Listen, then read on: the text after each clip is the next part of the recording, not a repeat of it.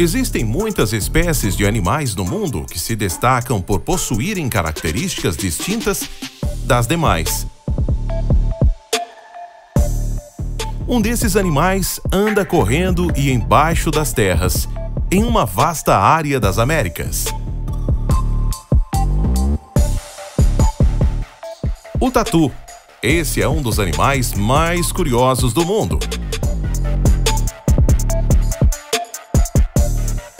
Mas se você acha que o tatu é um animal frágil e que pode ser devorado facilmente pelos predadores, você está enganado.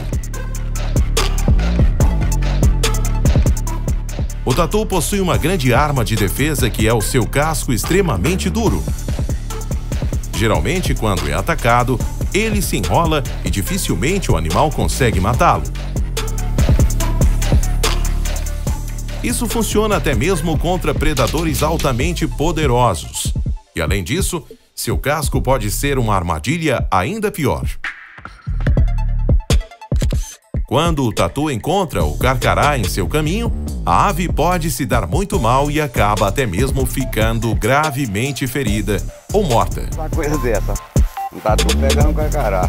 Essas imagens incríveis mostram justamente isso. Ó, Um grupo de homens encontrou um tatu enrolado na perna de um carcará, aqui mesmo no Brasil. O carcará provavelmente atacou o tatu, que rapidamente se enrolou e prendeu sua perna que não se solta por nada. Mesmo com seu forte bico, o carcará não tem nenhuma chance de quebrar o casco do tatu, pelo menos para se soltar. Dessa vez, o tatu mostrou para seu predador que não é uma boa ideia atacá-lo. Ou você pode virar uma ave, perneta, ou até ir para o beleléu.